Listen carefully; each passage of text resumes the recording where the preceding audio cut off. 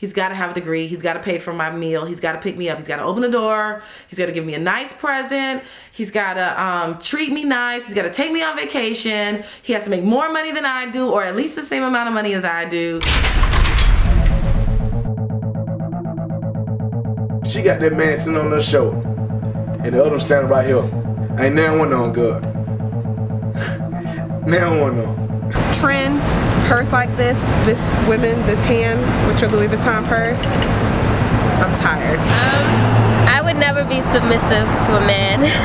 I'm sorry, that's just not me. Being independent and uh, in the past, yes, I have been called a drama queen, high maintenance, uh, the B word. These bitches go around like they they they so independent. They got their college, they got their college degrees. Half of the fucking women ain't even working with college degree. You know, it's some out there that pretty much like that make money and take care of a man. It's a good feeling just to say that you work hard for something and at the end of the day you know you work hard and you come home and relax.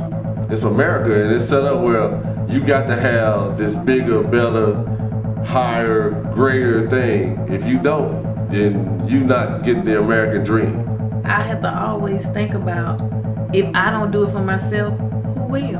Um, there was a myth years ago where I'm the man of the house and I'm supposed to, you know, have my, what I say goes, but times has changed now. There's no more, um, you know, head of household. I think it's a dual role now. No, I don't. I don't think most men could could handle uh, an independent woman. Independent woman, they want that person who's gonna be submissive and passive, but when it's time for you to stand up, they want you to be there and stand up as a man. Independent women being raised in a single parent household, nine times out of ten, you can only mimic what you see.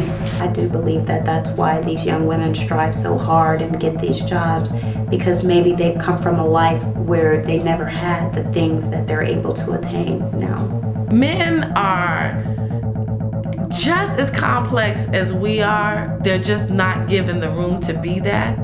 And if you uh, give a man a room to be that, man, he's yours forever.